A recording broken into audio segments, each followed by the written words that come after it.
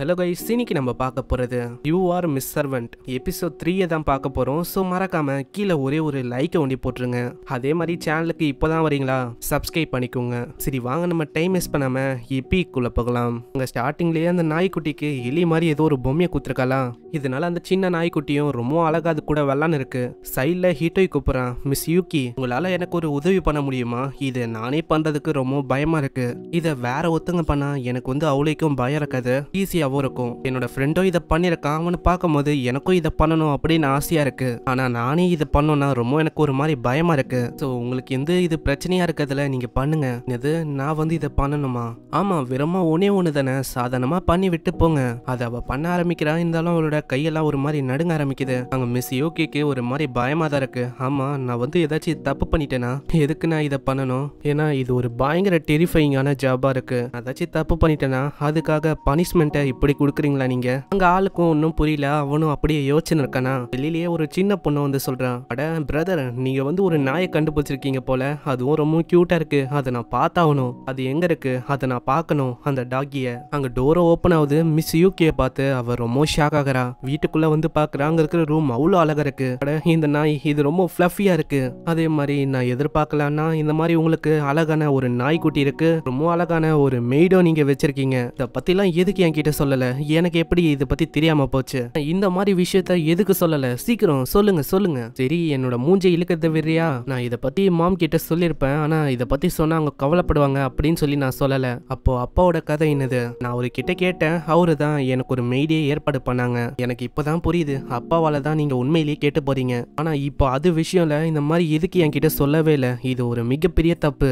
எதுக்கு நீங்க சொல்லல? இந்த விஷயத்த சொன்னா நீங்க குறைஞ்சா போக போறீங்க. சரி நான் வந்து உங்ககிட்ட ஒரு விஷயத்த கேட்கலாமா? ஆமா நீங்க ரெண்டு பேரும் என்ன தனியா டிஃப்ரெண்டான பிளேஸ்லயா வாழுவீங்க? அது அப்படியே அவ வெக்கப்படுறாளா? இப்போதான் அங்க ஹிட்டோயே சொல்றான் என்னோட சிஸ்டருக்கு யார் பியூட்டிஃபுல்லா இருக்காங்களோ அவங்கள ரொம்ப பிடிக்கும். அதனால தான் இவ ரொம்ப வெக்கப்படுறா. அந்த ஒரே ஒரு காரணத்துக்காக தான் இவ கிட்ட இந்த விஷயத்தெல்லாம் சொல்லவே இல்லை. நீங்க பண்ணது சரியில்லை. நீங்க ரூடான ஒரு சரி என்னோட வாயில இருந்து கொய்யா எடுக்கிறியா? என்னை பத்தி நான் இன்ட்ரடியூஸே பண்ணல என்னோட பேரு ரீகோ. என்ன வந்து நீங்க ஸ்மார்ட் ரீகோ அப்படின்னு கூப்பிடலாம். சரி அக்கா இந்த மாதிரி உங்களோட பேரை சொல்லுங்க. என்னோட பேரா? என்னோட பேரு யூகி உங்களோட பேரு உண்மையிலேயே அற்புதமா இருக்கு. ஆமா இந்த பேரை கொடுத்ததே மாஸ்டர் ஹிட்டோய் தான். என்னது? அப்படியா? இவனா கொடுத்தான் இவனுக்கு தான் டேஸ்டே இல்லையே. எப்படி இவன் எவ்வளவு அழகான பேரை கொடுத்தான் ஆமா இவரு தான் கொடுத்தாரு. நான் ஒரு அசாசின்ல. அதனால எனக்கு எந்த விதமான பேரும் இல்லை. என்ன சாதாரணமா அப்படியே அசாசின் பண்ற வேலைக்கு வேண்டிதான் வச்சுப்பாங்க. அதனால நான் ஹிட்டோய் கிட்ட கேட்டேன். அவரு தான் இந்த பேரை எனக்கு வச்சாரு. இது கேட்டு அவர் ரொம்ப ஷாக் ஆகுறா. இந்த ஹீட்டோயும் சொல்றான். ஆமா அவ சொன்னது உண்மை. என்னது? அப்படியா? இவ உண்மையிலேயே ஒரு அசாசினா? இப்போதான் இது ரொம்ப இன்ட்ரெஸ்டிங்கா இருக்கு. ஏன்னா அக்கா வந்து ரொம்ப அழகா இருக்காங்க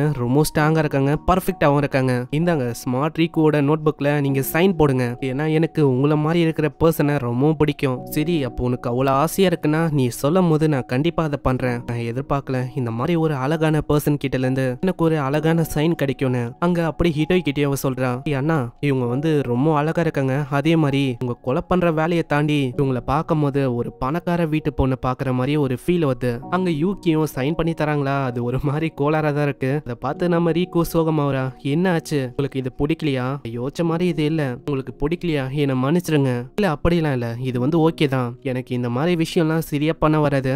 ஆனா என்னால பன்னெண்டு டிஃப்ரெண்டான லாங்குவேஜை பேச முடியும். என்னது? அப்படியா? அது ஒரு அருமையான விஷயமாச்சு. ஏன்னா நான் நிறையவே டிஃப்ரெண்ட் டிஃப்ரெண்டான இடத்துக்கு போற மாதிரி இருக்குமா? ஸோ அதனால தான் எனக்கு எவ்வளோ லாங்குவேஜ் வந்து தெரிஞ்சிருக்கு. நீங்க கவலையே படாதீங்க. இந்த சைனை நான் வச்சுக்க போறேன். அதாவது இது ஒரு ஐடலோட சைன் மாதிரி நான் பாதுகாக்க போறேன். ஆனா இப்பதான் எனக்கு ஒரு உண்மையிலேயே ஒரு நல்ல ஐடியா வந்திருக்கு. இவங்கள என்னோட சம்மர் அசைன்மெண்ட்டா யூஸ் பண்ண போறேன். என்ன சொல்ற அது வந்து ஓகேவா இருக்குமா? கவலைப்படாத நீ நினைக்கிற மாதிரி இல்ல. நான் என்ன பண்ண போறேன்னா ஒரு அசைன்மெண்ட் எழுத போறேன். அதுல ஒரு மெய்டு அவங்களோட லுக்ஸ் அப்படியே அசாஷினா இருந்தா எப்படி இருக்கும்? மாஸ்டர் ரீகு நம்ம உங்களுக்கு பிரச்சனை இல்லைன்னா வெளியில போய் பேசலாமா? உங்களுக்கு இன்னொரு ஒரு விஷயத்தையும் நான் காட்டணும். வெளியில ஆப்பிள் அவளோட மண்டியில விற்கிறா உங்க யூகி அவளோட நைஃப் வச்சு திடீர்னு தாக்குறா. இதை பார்த்து அவளுக்கு அவ்வளோ சந்தோஷம். உண்மையிலேயே அற்புதமா இருக்கு.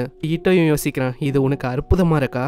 சரி இந்த மாதிரி அந்த சோட அது? எங்கல எத்தீங்க நான் அதை பார்க்கவே இல்லை. இதே மாதிரி நிறைய சோடை நீங்க உள்ளுக்குள்ள வச்சிருக்கீங்களா என்ன? இதுக்கு முன்னாடி என்னோட ட்ரெஸ்ல பதினாறு சோடை கிட்ட இருக்கும். நான் மாஸ்டர் ஹீட்டோ அவரு சொன்னனாலேயே நிறைய சோடை நான் கைட்டிட்டேன். ஆனா இப்போ வந்து என் கிட்ட வெறும் அஞ்சு அஞ்சு சோடை தான் இருக்கு. அஞ்சு கத்தியா? அது எங்க வச்சிருக்கீங்க? ரெண்டு மேல இருக்கு ரெண்டு கீழே இருக்கு என்னோட காலு கிட்ட. அதை அவ தூக்கி காட்டுறாளா? உடனே ஹீட்டோ வந்து வேணாம் வேணாம் அப்படின்னு தடுக்கிறான். சீன்ல அவ மண்டையில இருக்க அந்த பில்லை பத்தி பேசுறாங்க. ஆமா நீங்க நகரும் போது அசாசின் பண்ணும் போதெல்லாம் இந்த பெல் சவுண்ட் வராதா? இந்த டைம் அப்போ நான் ரொம்ப உஷாரா இருப்பேனா? அவளைக்கும் இதை வந்து யாராலையுமே நோட்டீஸே பண்ண முடியாது. ஆனா ஏதோ ஒன்று உன்னோட வயிற்றுல வர சவுண்டு அது என்னால நோட்டீஸ் பண்ண முடியுது. இல்ல அப்படிலாம் இல்ல எனக்கு பசி எடுக்குது. சரி லஞ்ச் டைம் தான் நம்ம சாப்பிடலாம். இவங்க சாப்பிடும் போதே சைட்ல ஃபெஸ்டிவலுக்கான அங்க பேனர் இருக்குமா? பார்க்கும் பார்க்கும்போது அங்க ரீகுக்கு ஐடியா வருது. நம்ம ஏன் ஃபெஸ்டிவலுக்கு நைட்டு போக கூடாது அங்க யூகி கிட்ட அந்த விஷயத்த சொல்றான். அங்க நிறையவே சோயா சாஸும் இருக்கும். சோயா சாஸ் கேட்டோன்னே அவர் ரொம்ப சந்தோஷமாயி போகலாம்னு சொல்றா நெக்ஸ்ட் சீன்ல இவங்க அங்க போறாங்களா? ஃபர்ஸ்ட் எடுத்தோன்னே அங்க இருக்கிற ஷூட்டிங் கேம் அதை தான் ரீகு ட்ரை பண்றா. இருந்தாலும் அவளால ஷூட் பண்ண முடியல. நெக்ஸ்டா யூகி ட்ரை பண்றா. ஷூட் பண்ற மாதிரியே போய் அங்க ஷூட்டே பண்ணல. எனக்கு அவளுக்கும் ஷூட்டிங் வராது. நெக்ஸ்டா கோல்டு ஃபிஷ்ஷை பிடிக்கிறது தான். அங்க யூகி பயங்கர வேகமா எல்லாத்தையும் பிடிக்கிறா. அட நீங்க உண்மையிலேயே வேற லெவலு எனக்கும் அந்த மாதிரி கத்து தர முடியுமா? பொறுமையா அந்த டார்கெட்டை பிடிக்கணும்னு பார்க்கணும். அப்பதான் உன்னால அதை அடைய முடியும். பரவாயில்லையே உன்னோட அக்கா செம்மையா சொல்லி தரா. ஆமா நீங்க சொல்றதும் கரெக்ட் தான். ரீக்கும் சொல்றேன். சரி நீங்க இங்கேயே வெயிட் பண்ணுங்க. உங்களுக்காக நான் ட்ரிங்கை வாங்கிட்டு வரேன். வேற எங்கேயாச்சும் போனா ரீக்குவால தேட முடியாது. நம்ம சைட்லயே உட்காரலாம். யூகி கிட்ட ஒரு விஷயத்த கேட்குறான் ஆமா யூகி இதுக்கு முன்னாடி ஃபெஸ்டிவலுக்குலாம் வந்திருக்கியா? ஃபெஸ்டிவலுக்குலாம் நான் போயிருக்கேன் ஆனால் நான் கொண்டாட மாட்டேன். ஏன்னா ஃபெஸ்டிவல் டைம் அப்போ கூட நான் வந்து அசஷன் பண்ற வேலை அதை தான் பண்ணுவேன் சீன்ல ரீக்குவும் அங்கே ட்ரிங்கை கொண்டு வந்து தரா. அதை குடிக்கும் போதே மேல வந்து பட்டாசெல்லாம் வெடிக்குமா? அங்கே ரீக்குவும் கேட்குறா ஆமா அந்த பட்டாசெல்லாம் உங்களுக்கு பிடிச்சிருக்கா? ஆமா உண்மையிலேயே அதெல்லாம் நல்லா இருக்கு. இதெல்லாம் பார்த்துன்னு இருக்க ஹிட்டோயும் அவளோட அழகை பார்த்து அப்படியே ரசிக்கிறான். நெக்ஸ்ட் சீன்ல அவங்க போக ஆரம்பிக்கிறாங்களா? அவங்களோட நாள் அருமையா இருக்கு அப்படின்னு பேசினே போகும்போது அங்க ஒரு பர்சன் பயங்கர வேகமா வரான். முற்ற அளவுக்கு வந்துருவான். அங்க யூகி காப்பாத்திடுறாங்க. ஆமா உங்களுக்கு வந்து எதுவுமே ஆகலல.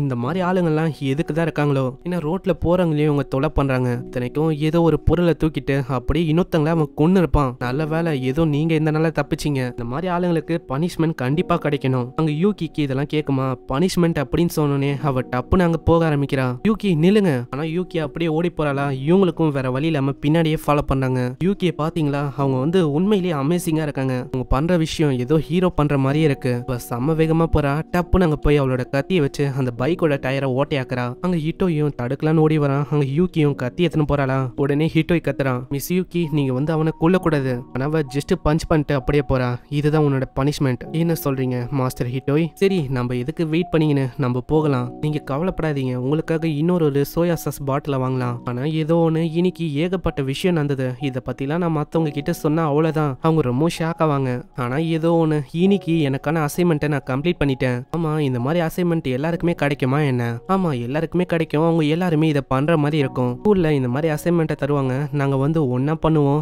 கிளப் ஆக்டிவிட்டியும் இருக்கும். நாங்கள்லாம் ஃப்ரெண்ட்ஸாக இருப்போம். சேட் பண்ணுவோம். ஜாலியாக இருக்கும். ஸ்கூல் ஒரு ஃபன்னான விஷயம் தெரியுமா? ஆனால் அதுக்குள்ளேருந்து அவங்க அம்மா மெசேஜ் பண்ணுறாங்களா இதனால் அப்படியே அவள் ஓடி போக ஆரம்பிக்கிறா. சரி உங்கள் ரெண்டு பேரை நான் அப்புறமா பாக்குறேன். இவ இப்படிதான். ஒரு இடத்துல கொஞ்ச நேரம் கூட நிற்க மாட்டா. ஆனால் ஏதோ ஒன்று நான் ரொம்ப சந்தோஷமாக ஃபீல் பண்ணேன் இன்னைக்கு. இந்த விஷயத்தை தான் நார்மல் அப்படின்னு சொல்லுவாங்களா? இப்போ அதுதான் விஷயம்னா நான் ஸ்கூலுக்கு போய் மற்றவங்க எல்லாரையுமே ஃப்ரெண்ட்ஸ் ஆக்கணும். அவங்க கூட பேசணும். அப்படின்னு நான் விரும்புறேன். அங்க இதை பத்தி தான் அவன் யோசிக்கிறான். ஆமா சியூக்கி அவங்களுக்கு அவளுக்கும் ஏஜ் வந்து எவ்வளவு இருக்கும்? இப்போ வர செமஸ்டர் எண்ட் ஆகுது நெக்ஸ்ட் செமஸ்டரும் ஆரம்பிக்க போகுது. நெக்ஸ்ட் சீன்ல செமஸ்டர் ஆரம்பிக்குதா? அங்க காலேஜ்ல எல்லாருமே ஒரே ஒரு விஷயத்த பத்தி தான் பேசுறாங்க. ஹிட்டோயோட ஒரு ஃப்ரெண்டோ ஓடி வந்து சொல்றான். ஹேய் உனக்கு தெரியுமா ஹிட்டோய்? இந்த டவுன்ல ரொம்ப அழகான ஒரு மெய்டு வந்திருக்காங்களாம். அப்ப நிறைய பேர் பார்த்துருக்காங்க. ரொம்ப அவங்க கியூட்டாவும் பிரிட்டியாவும் இருப்பாங்களாம். இது கேட்டோன்னே ஆளுக்கு புரியுது. அது வேற யாரும் இல்ல. யூகி தானே. அங்க இத பத்தி தான் அவங்க ரெண்டு பேருமே பேசுறாங்க. அங்க இன்னொரு ஒரு பையனும் சொல்றான். நான் கூட அவங்கள லைப்ரரியில பார்த்தேன் தெரியுமா?